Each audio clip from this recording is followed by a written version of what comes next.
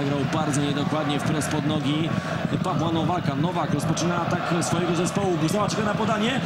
Nie ma spalonego Buzała. Pole karne. Paweł Buzała. Gol!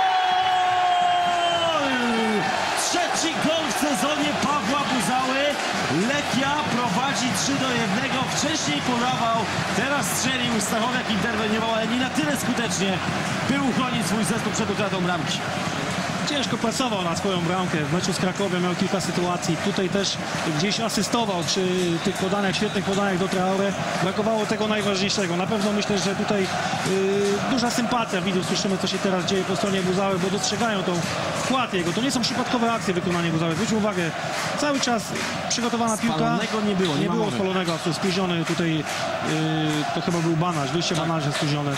No i tutaj popatrzmy na Stachowiaka, stał niby do końca, gdyby jeszcze wytrzymał może ułamek sekundy, to miałby szansę na skuteczną interwencję, ale to świetne podanie. Buzała bardzo dobrze przyjął sobie piłkę w kierunku to, co mu się udawało we wcześniejszej akcji. Troszeczkę wyżej, jakby Stachowiak stał, miałby szansę na, na skuteczniejszą To interwencję. było Mam tu- zagranie Pawła Nowaka z głębi boiska. Nowaka. Muszę powiedzieć e, jedną rzecz, że widzieliśmy już w tej sytuacji Buzały, kiedy e, bronił Stachowiak, to było na początku drugiej połowy, że też Nowak wykazał się takim naprawdę fajnym, dokładnym, długim podaniem.